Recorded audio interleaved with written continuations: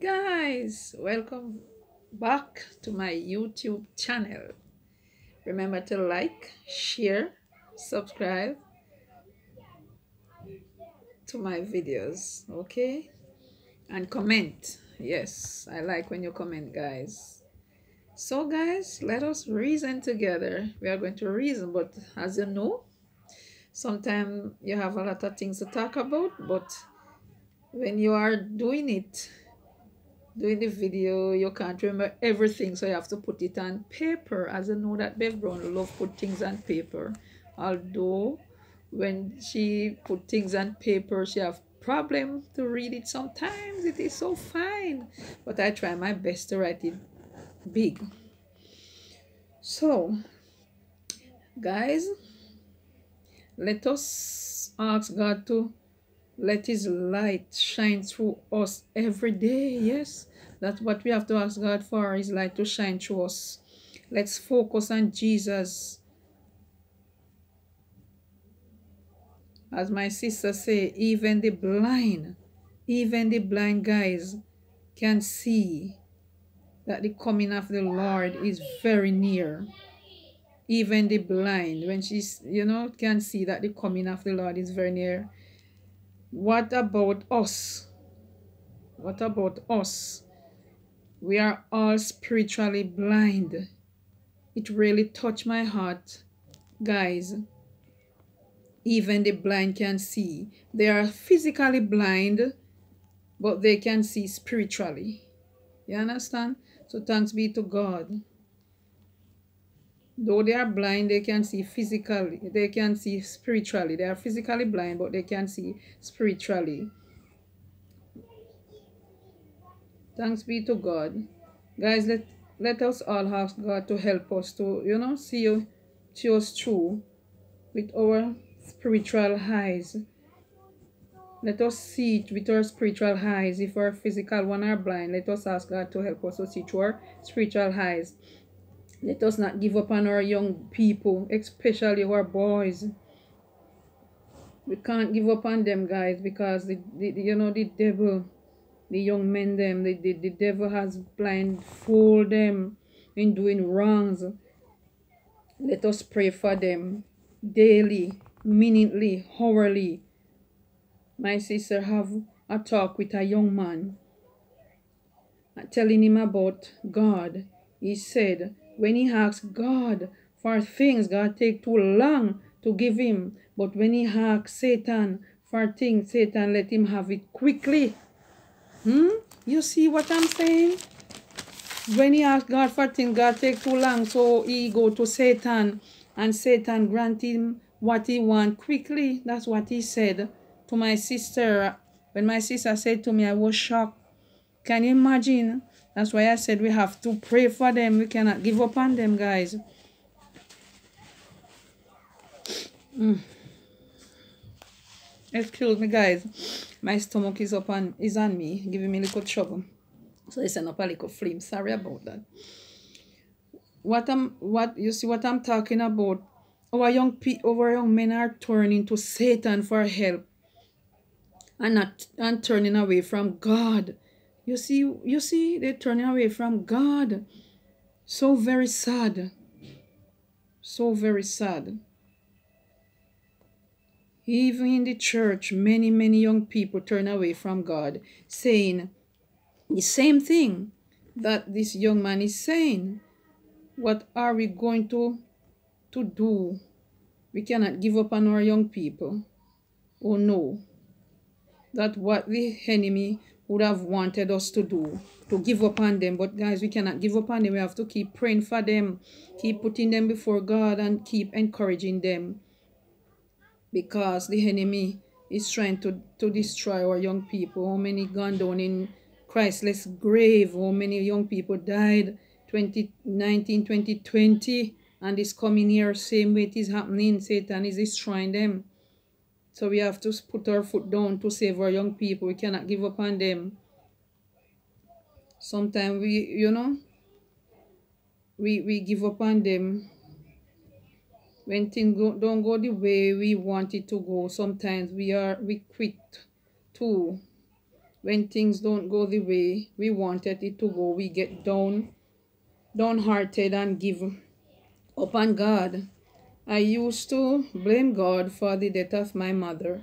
I used to say to God, Why did you let my mother die and cause us to suffer? I was hungry with God. So, just like some of the young people them now, they are angry with God because they does not understand the love that God have for them and things that God want to do for them if they just give him a chance in their life to make a change. They don't know the love of God, just like in those days when I was blaming God for taking away my mother from me. I didn't know God. I know there's a God, but I, have never have accepted him in my life and and never used to, you know, kneel on and pray to him and go know that there's a great one above, there's a God, but I didn't understand about God. For a, for a very long time, I did not understand anything about God. Back then, I used to say to my sister, there is a hell and there's a heaven. Some have to go to hell and some have to go to heaven. Little did I know how much God cares for me. I didn't I didn't know much. So back then when my sisters were telling me about God and telling me things about God and encouraging me, I used to tell them say hell and heaven. So hell make for some, some have to go to hell and some have to go to heaven. But guys, I didn't understand. I didn't have that communication with God. I never accepted him. I never know about him as I tell you guys because I only heard about God and I didn't understand much about God, but I know that there was a God in heaven. So we cannot judge these young people. Many grow up in the church and many don't grow up in the church. So many hear about God, never experience him yet, never really sit down and study their Bible and, you know, pray to God and so on. So that's why the enemy kept capture them now and turning them away like that young man which said to my sister that when he ask God for things, God don't give him it same time, but when he ask Satan, Satan give him it quickly. You understand? So he doesn't know much about God, the love that God have for him. So we can't judge them, you know, and we have to pray for them and encourages them when we see them along. So sometimes we don't know how love I didn't know loving and caring he was. Guys, I reached the point when I say enough is enough. I can't live any longer. I was going through a rough time in my life, guys. A very rough time in my life. I was going through a very rough time in my life. I reached, guys, I reached to the end of my rope. I didn't know God. Satan have me in his arms telling me what to do, showing me a better way out. Guys, I was planning my own death. Oh, to take my own life. It felt so good. All my pain and sorrow would be over. I was so, so very happy. I, I said everything will end. Satan, show me what to do to end everything. I, I I sit every day thinking about it and make peace with myself. But thanks be to God for His grace and mercy and His love for His children. Jesus stepped in, stepped in and showed me the way. Jesus put my children before me. He said, What will happen to them? Do you want them to suffer and go through the same thing that you have gone through. Yes, guys, I reached to the end of my rope where I said enough is enough because as I tell you guys, my life wasn't nice growing up and I have them now and it was very hard. And my aunt did have the two girls but I still have to work and help.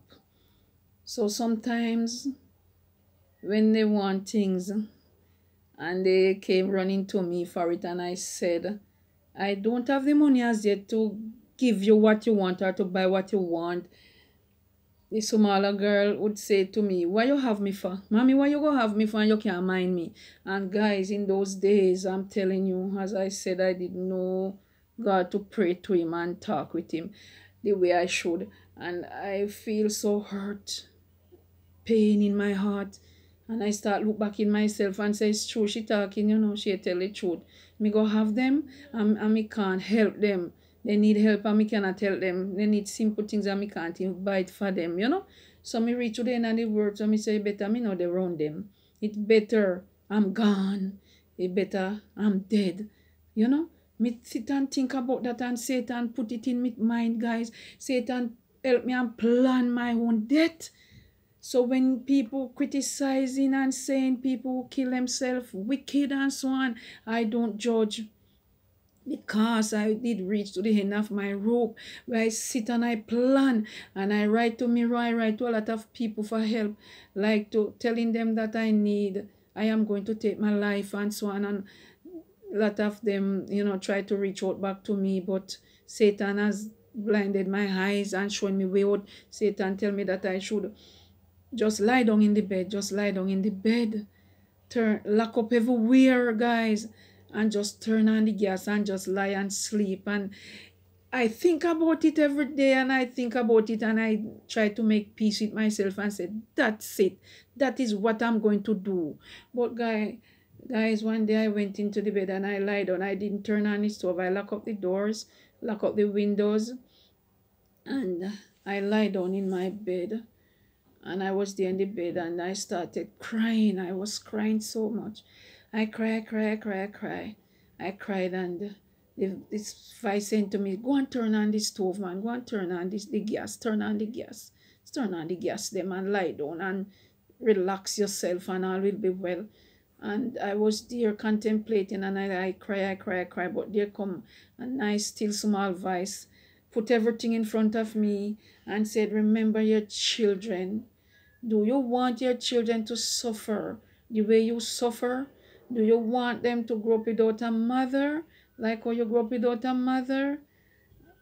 And when you, and you know, the voice was talking to me and I was there crying, crying, crying.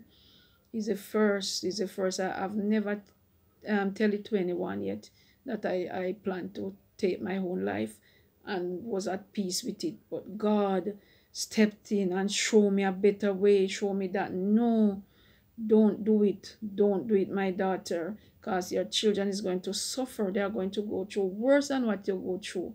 And I and I get up from out of the bed, stop the crying, open up back the doors them and open the windows. And that's the time I started talking with God the right way, praying to Him and asking Him to help me to go through what I was going through because I reached to that point. So I'm not judging anyone. We all have, as I said, we all go through our storms, we all go through our weak points and so on. And sometimes when you don't have anyone to sit and reason with, no one to, you know, sit and reason with, we say, I'm going through this and, and so and so be the case. So some people take their own life. I understand, and I'm so sorry that they didn't listen to that still small voice that was telling them not to do it because I know that God intervened and tell them not to, but they didn't listen. Thanks be to God, I listened because I would die a long time ago and then I would, wouldn't get any forgiveness because there's no repentance in the grave. A church sister used to come by and, you know, she would come and study with me and so on first time.